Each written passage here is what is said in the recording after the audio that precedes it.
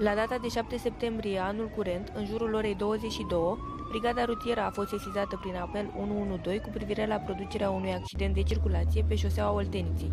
Din primele verificări efectuate în urma sesizării, s-a constatat faptul că un autovehicul condus de un bărbat se deplasa pe șoseaua Olteniței dinspre piața Sudului, către strada Ion Ricianu, iar când a ajuns în dreptul refugiului de tramvai, a intrat în coliziune cu acesta.